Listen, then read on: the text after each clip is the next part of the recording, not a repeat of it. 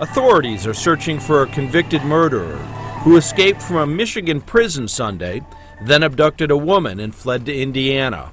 The woman escaped and called police when they stopped at a gas station just over the state line.